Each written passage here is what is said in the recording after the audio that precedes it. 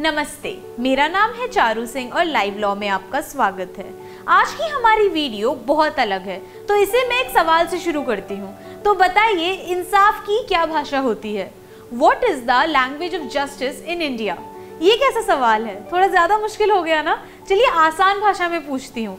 ये बताइए कि भारत की अदालतों में कौन सी भाषा का प्रयोग होता है? हाँ अब इस वीडियो को देखने वाले वकीलों और वकालत के स्टूडेंट्स यानी विद्यार्थियों को मालूम होगा, लेकिन आम इंसान के दिमाग में ये सवाल या ये उलझन कभी आई ही नहीं होगी। क्योंकि हमने तो बस पिक्चरों में, हिंदी में चीखते चीखते तारीख पे तारीख और इंसाफ की देवी के बड़े बड़े डायलॉग ही सुने हैं। तो आज की इस वीडियो में आइए बात करते हैं इस बारे में कि आखिर कौन सी भाषा भारत की कौन सी अदालत या कौन सी कोर्ट में इस्तेमाल करी जाती है। भारत की ज़्यादातर अदालतों में हिंदी और इंग्लिश इन दोनों भाषाओं का प्रयोग किया जाता है और ये भारत सरकार की आधिकारिक यानी ऑफिशियल भाषाएँ हैं। लेकिन याद रखें कि ये ऑफिशियल भाषाएँ हैं राष्ट्रीय भाषा नहीं है। हमारा सुप्रीम कोर्ट जो है, वो भारत की सबसे उच्च दर्जे की न्यायिक संस्था है। अब वह अंग्रेज़ी को अपने कामकाज के लिए इस्तेमाल करता है। ज़्यादातर राज्यों के हाई कोर्ट्स भी अपने कामकाजी भाषा के रूप में अंग्रेज़ी का ही प्रयोग करते हैं, लेकिन संविधान में एक प्रावधान है, जो ये कहता है कि राज्य के गवर्नर, राष्ट्रपति की अनुमति से ऑथराइज या अधिकृत कर सकते हैं हिंदी या किसी और भाषा को वहाँ पे प्रयोग करे जाने के लिए। ज़्यादातर सबऑर्डिनेट यानी अधीनस्थ अदालतों में जहाँ भी वो स्थित हैं, वहाँ की क्षेत्रीय, यानी लोकल भाषा का प्रयोग किया जा सकता है। लेकिन राज्य सरकार के पास ये अधिकार है कि वो लिटिगेंट्स जो होते हैं, यानी वहाँ के जो वादी या अदालत में मदद मांगने आए हुए लोग हैं, उनके सहयोग या कन्वीनियंस के लिए किसी और भाषा को लागू कर सके या फिर इस संदर्भ में कोई अधिनियम भी लागू कर सके। अब हम एक बार ध्यान से डिटेल में सुप्रीम कोर्ट हाई कोर्ट और सबऑर्डिनेट कोर्ट्स में प्रयोग होने वाली भाषाओं के बारे में जान लेते हैं। तो सबसे पहले हम बात करेंगे सुप्रीम कोर्ट की, यानी उच्च न्यायालय की। भारत के संविधान के अनुच्छेद 348 सुप्रीम कोर्ट द्वारा इस्तेमाल की जाने वाली भाषा के प्रावधान से संबंधित हैं रिलेटेड हैं। ये प्रावधान कहता है कि इंग्लिश सुप्रीम कोर्ट की कार्यकारी भाषा तब तक रहेगी जब तक कि संसद कानून द्वारा विशेष रूप से इस काम के लिए कोई अन्य भाषा प्रदान नहीं करती है।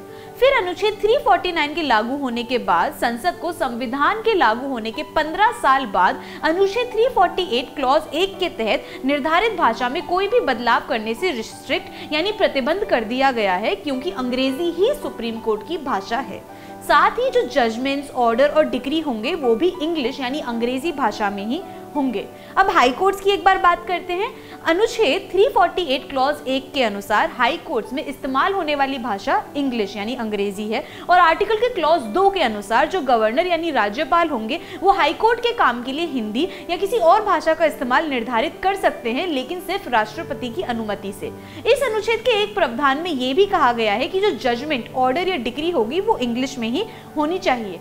ऑफिशियल लैंग्वेज एक्ट 1963 की धारा सात में ये बताया गया है कि गवर्नर राष्ट्रपति की सहमति से हिंदी या अन्य भाषा का प्रयोग ऑथराइज यानी अधिकृत कर सकते हैं। जैसा कि पहले आपको बताया, अगर कोई भी जजमेंट ऑर्डर या डिग्री हिंदी में दिए गए हैं तो उनके साथ उनका इंग्लिश ट्रांसलेशन यानी अनुवाद भी रहेगा। अब हम अपनी निचली अदालतों यानी सब कोर्ट्स के बारे में जान लेते हैं। सब कोर्ट यानी हमारे डिस्ट्रिक्ट कोर्ट जिला न्यायालय। और इनमें जो भाषा इस्तेमाल होगी, इस बारे में दो प्रावधान मौजूद हैं।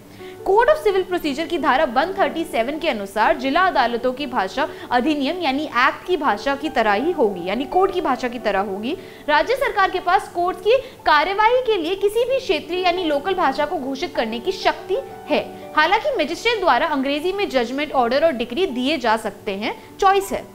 हाँ एविडेंस यानी सबूत की रिकॉर्डिंग राज्य की प्रचलित भाषा में या स्टेट में इस्तेमाल होने वाली भाषा में ही की जाएगी। अगर किसी प्लीडर को अंग्रेज़ी नहीं आती तो वो कोर्ट में अपनी जानने वाली भाषा में ट्रांसलेशन यानी अनुवाद की मांग कर सकता है, अनुरोध कर सकता है और इसका खर्चा अदालत ही खुद उठाती है। कोड ऑफ़ क्रिमिनल प्रोसीजर 1973 की धारा 272 में कहा गया है कि राज्य सरकार, हाई कोर्ट के अलावा सभी अदालतों में भाषा क्या इस्तेमाल होगी, ये फैसला, ये डिसीज़न ले सकती है। तो इससे हम ये मान सकते हैं कि जिला अदालतों में इस्तेमाल होने वाली भाषा को राज्य सरकार खुद निर्धारित करती है और ज़्यादातर ये भाषा वही क्षेत्रीय भाषा होती है जिसका प्रयोग वहाँ पे आम भाषा में किया जाता है, आम लोगों में किया जाता है। यहाँ कुछ विवाद भी छिड़े हैं। समय समय पर इंग्लिश के प्रयोग यानी इस्तेमाल को लेकर अदालतों में, जैसे कि कई बार प्लीडर को अंग्रेज़ी नहीं आती तो कभी पार्टीज़ अपनी क्षेत्रीय भाषा का प्रयोग करना ज़्यादा अच्छे से जानती हैं और उसी का प्रयोग करना चाहती हैं। और साथ ही अनुच्छेद 19 freedom of speech and expression प्रदान करता है और राइट टू जस्टिस यानी इंसाफ का अधिकार अनुच्छेद 21 प्रदान करता है। इनके अंतर्गत एक व्यक्ति को पूरा अधिकार है उस भाषा का प्रयोग करने का अदालत में, जिसमें वो खुद सक्षम है। दूसरी तरफ़ अंग्रेज़ी के सहयोग में कहा जाता है कि इसके प्रयोग से देश भर की अदालतों में एक समानता एक होमोजेनिटी आ जाएगी। साथ ही देश भर के वकील देश भर में किसी भी अदालत में जाकर वकालत कर पाएँगे, अपनी प्रैक्टिस कर पाएँगे, क्योंकि फिर क्षेत्रीय बोली बोलने वालों के पास वहाँ पर सिर्फ़ उनके पास एक मौका नहीं रह जाएगा, उनके पास ही मोनोपली नहीं रह जाएगी उन अदालतों में प्रैक्टिस करने की। उसके बाद एक और बात सामने आती है कि जब भी कोई मुकदमा डिस्ट्रिक्ट कोर्ट से हाई कोर्ट या फिर सुप्रीम कोर्ट जाता है तो उसकी ट्रांसलेशन करवानी पड़ती है, उसका अनुवाद करवा करवाना पड़ता है और उसका खर्चा भी पार्टीज़ को खुद ही उठाना पड़ता है। तो ये खर्चा भी अंग्रेज़ी के प्रयोग से कम हो जाएगा, लेकिन साथ ही साथ इस बात को नकारा नहीं जा सकता कि जिन लोगों को अंग्रेज़ी नहीं आती और वो अपनी क्षेत्रीय अदालतों में जाके अपना मुकदमा लेकर पहुँचे हैं, उनको पूरा अधिकार है अपनी क्षेत्रीय भाषा का प्रयोग करने का। आज की इस वीडियो में इतना ही। अपनी राय हमें कॉमेंट सेक्शन में ज़रूर बताइए और आगे की जानकारी के लिए बने रहिए सिर्फ़ और सिर्फ़ लाइव लॉ पर। धन्यवाद।